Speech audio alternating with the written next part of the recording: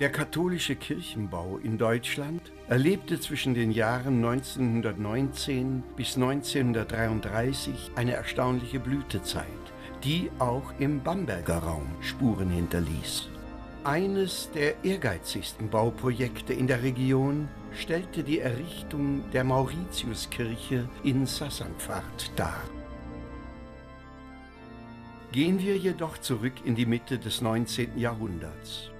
Sassanfahrt hatte über 800 Einwohner und diese besuchten den Gottesdienst in der drei Kilometer entfernten Pfarrkirche Säusling, weil es noch keine Regnitzbrücke zum näher gelegenen Hirscheid gab. Im Jahr 1858 erhielt der damalige Rittergutsbesitzer Konstantin von Pflummern vom Landgericht Bamberg die Genehmigung auf seinem Grundbesitz am Roten Sander Weg eine Gruft mit überbauter Kapelle zu errichten.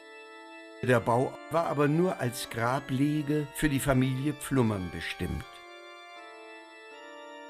Auch in der zweiten Hälfte des 19. Jahrhunderts war nicht an einen Kirchenbau zu denken, denn die kinderreichen Familien lebten in höchster Armut.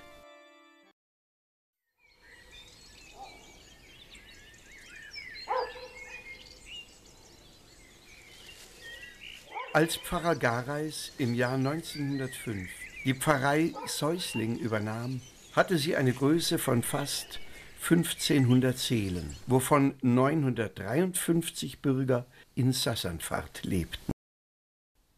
Erzbischof Friedrich Philipp empfahl dem neuen Pfarrer, er möge es zu seinem Lebenswerk machen, dass Sassanfahrt mit Kirche und Seelsorge beglückt werde. Pfarrer Gareis widmete sich ganz dieser Aufgabe. Er sammelte Gelder und gründete den Kirchenverein St. Heinrich, dessen Ziel die Errichtung einer Kirche in Sassanfahrt war. Im Jahr 1913 erlaubte der neue Gutsherr Oberstleutnant Albert Brennfleck den Sassanfahrtern, seine Kapelle für katholische Gottesdienste zu nutzen. Ich bedanke mich ganz herzlich für Ihr Entgegenkommen. Pfarrer Gareis erhielt die Erlaubnis des Ordinariats, in der Kapelle einmal wöchentlich Gottesdienst zu halten. Im Auftrag des erzbischöflichen Ordinariats wurde die Grabkapelle am 29. Juni 1913 geweiht. Unzählige Gläubige aus der ganzen Umgebung waren gekommen. Dies quem fixit Dominus. Das ist der Tag, den der Herr gemacht hat. Liebe Gemeinde, ich begrüße Sie ganz herzlich zur Weihe unserer Kapelle hier in Sassanfahrt. Nach der Weihe setzte sich ein Festzug zum Schlossplatz in Bewegung, um der Gutsherrschaft zu danken. Sehr geehrter Herr Brennfleck, verehrte gnädige Frau, die Gemeinde von Sassanfahrt und Köppmannsdorf hat sich heute hier versammelt, um Ihnen Dank zu sagen für Ihre großherzige Entscheidung, uns die Grabkapelle derer von Pflummern zur Verfügung zu stellen. Wir bedanken uns recht herzlich und als kleines Zeichen unseres Dankes darf ich Ihnen, gnädige Frau, diesen Blumenstrauß überreichen. Herzlichen Dank. Herr Bürgermeister, ich bedanke mich sehr herzlich für diesen schönen Blumenstrauß. Sehr gerne. Herr Bürgermeister, wir danken auch.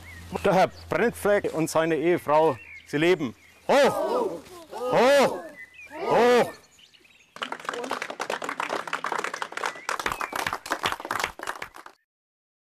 Jeweils am Dienstag konnte nun die heilige Messe gefeiert werden, jedoch erwies sich die Kapelle mit ihren hundert Plätzen als viel zu klein.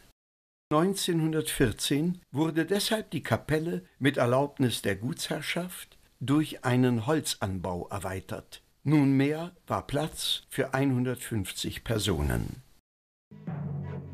Der Erste Weltkrieg ließ alle Pläne für einen Kirchenbau verstummen und durch die Inflation waren die angesammelten Gelder verloren.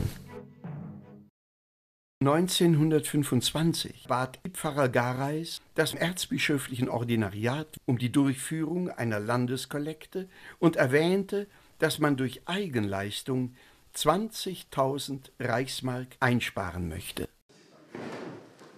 Dem Bürgermeister Adam Krapp konnte Pfarrer Gareis von der Antwort im Oktober berichten. Aha, betreff Errichtung einer Tochterkirchengemeinde Sassamfahrt das ist jetzt hiermit genehmigt worden, jawohl, und wir werden aufgefordert, eine Kirchenverwaltung zu wählen. Das machen wir natürlich gerne. Und ich stelle mich selbstverständlich selbst zur Verfügung. Sehr schön, das ist auch. Kirchbau beteiligen und wir wollen euch ein Grundstück. Ende des Jahres bot Gutsherr Brennfleck an, sein Grundstück neben der Kapelle für 1500 Goldmark an die Gemeinde als Kirchenbauplatz zu verkaufen. Den Verkauf verband er mit der Bedingung, dass die Fertigstellung des Kirchenbaues und des Friedhofes bis spätestens 1930 erfolgen muss. Außerdem bat er um baldige Entfernung des Holzanbaues, der die Begräbniskapelle verunstalte. Sollte bis 1930 keine Kirche entstehen, haben wir das Kaufrecht. Das geht in Ordnung so, denke ich einmal. Ich bespreche das im Gemeinderat und bedanke mich heute schon mal dafür. Die am 20. Dezember 1925 gewählte Kirchenverwaltung aus Sassanfahrt und Köttmannsdorf wurde in ihr Amt eingeführt. Im ganzen Ort herrschte eine euphorische Stimmung. Die Schreindo, der Kirchenbauverein, verfügt über ein Vermögen von 20.000 Reichsmark. Das Vorvermögen, wo kommt denn das auf einmal hier? Möchte ich auch wissen. Ja, aber wenn es die schreien, Bald wird eine sonnige Kirche von den sonnigen Höhen am linken Regnitzufer ins breite Tal hinausgrüßen und den Aufstieg einer Gemeinde grünen, der von allen weltlichen Behörden recht wohl beachtet und gewürdigt wird. Na, sowas was. Im September errechnet Architekt Reisinger aus Bayreuth für Schiff, Chor, Vorhalle mit Taufkapelle, Turm und das Pfarrhaus 175.000 Reichsmark. Reisinger konzipierte den Bau für 800 Besucher. Ebenfalls im Oktober lud Bürgermeister Krapp die Kirchenverwaltung zu einer Sitzung ein und überging dabei absichtlich den ersten Vorsitzenden Pfarrer Gareis. Er wollte erreichen, dass der Pfarrer Bankabrechnungen, Spenden sonstige Gelder und Dokumente, die er bisher eigenständig verwaltet hatte, offenlegt und dem Kassier aushändigt. Wer ist dafür? Jawohl, einstimmig. Ich bedanke mich recht herzlich. Als Pfarrer Gareis dies erfuhr, war er sehr verärgert und entlud seinen Unmut auf der Säuslinger Kirchenkanzel. Und umso bedauerlicher und umso betrüblicher ist es nun, dass einzelne einflussreiche Persönlichkeiten des Ortes diesem wichtigen Unternehmen den Kampf angesagt haben und zu hintertreiben versuchen. Und es ist ein großer Vertrauensbruch und nicht hinnehmbar, wenn der Pfarrer bei wichtigen Entscheidungen außen vor bleibt, nicht in Kenntnis gesetzt wird und erst durch ein Schreiben des Ordinariats letzten Endes über Beschlüsse informiert wird. Das ist nicht hinnehmbar. Die Pläne mussten nach den Vorgaben des erzbischöflichen Ordinariats aus Kostengründen überarbeitet werden. Der Turm muss gekürzt werden, gekappt werden. Das Pfarrhaus, das wir ursprünglich unmittelbar neben dem Turm bauen wollten, das wird überhaupt nicht genehmigt. Aber da haben wir ja schon fast mit gerechnet. Das sind natürlich gewaltige Änderungen, Herr Bürgermeister, wo wir dann auch wieder die Pläne ändern müssen. Der Unmut in der Bevölkerung war groß, denn der Leichenhausbau schien in Vergessenheit geraten zu sein. Im ganzen Dorf hört man nichts anderes mehr. Ein King wird gebaut, ein King müssen wir bauen. Ja, alles gut und schön, aber wir haben andere Probleme. Ja, nun, ein Leichenhaus bräuchte man. Was? Zum Teil werden die Toten in die Gasenstelle gelegt und das ist falsch vorgekommen, dass sie für Mäus und Ratzen angeknabbert werden. Das kann so nicht mehr weitergehen. Durch Spenden von Guttätern standen insgesamt 29.000 Reichsmark zur Verfügung. Im März genehmigte der Baukunstausschuss die geänderten Pläne Reisingers, dessen Kostenschätzung nun bei 100.000 Reichsmark lag. Am 9. April 1928 fand der erste Spatenstich durch Pfarrer Gareis an der Stelle statt, wo sich der Chor und der Hochaltar erheben sollten. Hochwürdigster Herr Pfarrer, liebe Gemeindebürger von Sassanfahrt und Köppmannsdorf, wir haben uns heute hier in dieser denkwürdigen Stunde versammelt, um das zu beginnen, was wir seit Jahren geplant haben, nämlich den Bau einer neuen Pfarrkirche für Sassanfahrt. Hoffen wir, dass der Bau ohne Zwischenfälle und ohne Schaden durchgeführt werden kann. Möge Gott uns dabei helfen. Vielen Dank.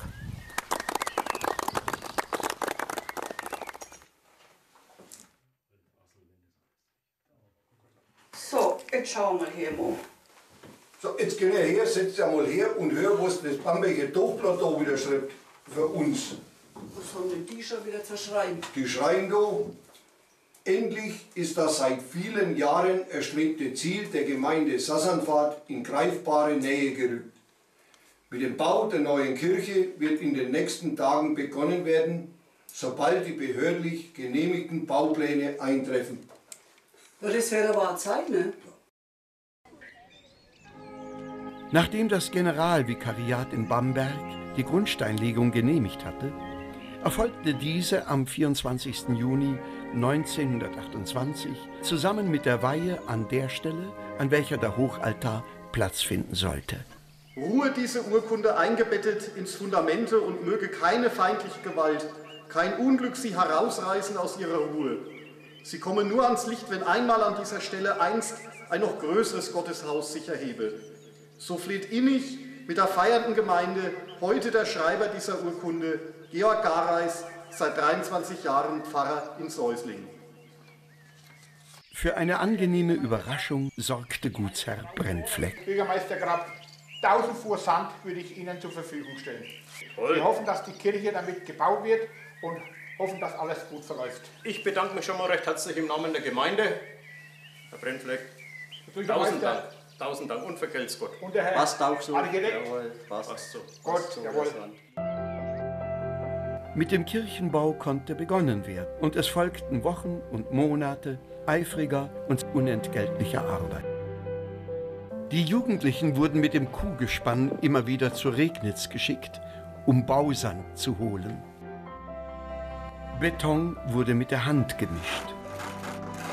Des Öfteren waren täglich bis zu 100 Leute im Einsatz. Steine und Mörtel mussten mehrere Etagen hochgetragen werden. Beim Bau wurde keine einzige Maschine eingesetzt. Alles war Handarbeit. Das Bauholz wurde von der Kirchengemeinde Säusling zur Verfügung gestellt.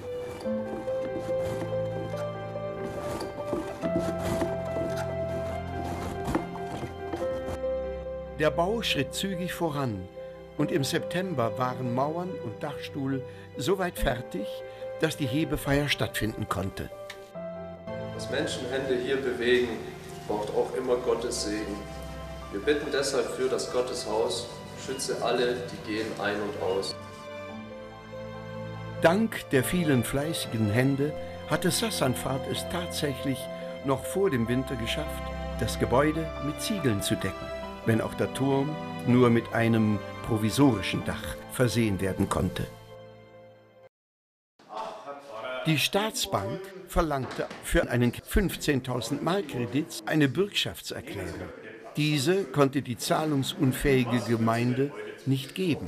Eine Lösung bot die Bürgenliste von Ortsbewohnern, die bereit waren, mit ihrem Hab und Gut die Finanzierung sicherzustellen. Viele Leute haben sich äh, zur Verfügung gestellt als Bürgen, aber äh, sie haben ja eigentlich kein Vermögen. Das ist einmal ein erster Schritt, um zunächst einmal die Staatsbank zu beruhigen.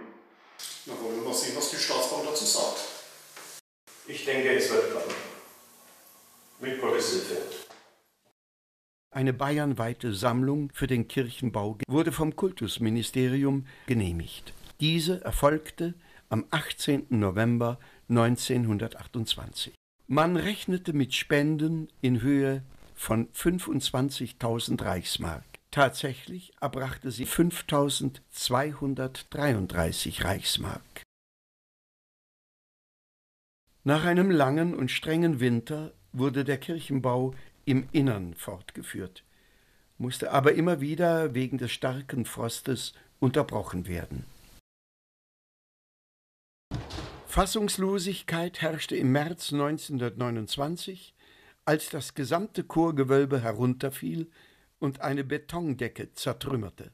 Wir müssen uns natürlich die Frage stellen, ob wir auch die richtigen Bauunternehmer beauftragt haben mit diesem verantwortungsvollen Bau. Aufgrund dieses Vorfalles bestand im ganzen Ort große Aufregung und Bürgermeister Krapp versuchte, sich bei Gareis zu rechtfertigen. Ursache ist eigentlich der lange Winter, den wir halt äh, hatten. Ja, aber wir haben jetzt auch ein Problem. Das Geld fehlt uns. Trotzdem wurde am 14. Juni 1929 in der fast vollendeten Kirche der Altarstein auf den steinernen Unterbau des Hochaltares aufgesetzt. Und wird zuerst diese Urkunde in der Nische eingelassen, um späteren Geschlechtern noch zu künden von der denkwürdigen Zeit des Sassam-Vaterkirchenbaues.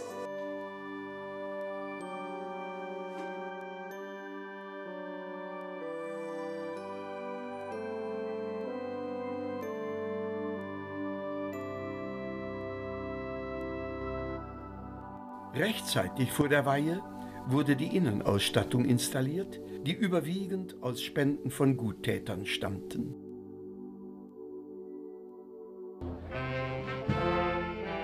Am 21. Juli 1929 wurde die Einweihung der Mauritiuskirche durch den Bamberger Erzbischof Haug und Weihbischof Sänger unter der großen Anteilnahme der Bevölkerung vorgenommen. Die Weihe fiel in eine schwere Zeit, die noch unter den Nachwehen des Ersten Weltkrieges und der Revolution litt. Dennoch wurde dieser festliche Weihetag von vielen Bewohnern lang ersehnt, denn ihr Opfermut und die Wohltätigkeit der Erzdiözese hatten diesen Kirchenbau überhaupt erst möglich gemacht. Gesundheitliche Gründe zwangen Adam Krapp unmittelbar nach der Kircheneinweihung sein Bürgermeisteramt niederzulegen. Er verstarb am 16. Mai 1931 im Alter von 64 Jahren. 1936 starb Pfarrer Gareis im Alter von 65 Jahren. Bis zum Lebensende hatte er sein kirchliches Einkommen für den Bau der Mauritiuskirche bereitgestellt. Im Jahre 1954, nach 25 Jahren, wurde der Kirchenbau endgültig fertiggestellt. Der Turm, der nur ein Meter das Hauptschiff überragte, wurde erhöht. Ein dreiteiliges Glockengeläute wurde beschafft und es verfolgte die feierliche Weihe durch Dekan Schüler aus Mistendorf. Im Jahr 1959 wurde ein großes Triumphbogenkruzifix gestaltet. Der Gekreuzigte lässt aber den Kopf nicht hängen und trägt keine Dornenkrone. Er wurde vom Bamberger Künstler Franz Xaver Bauer nach dessen lebendem Vorbild aus Lindenholz geschnitzt.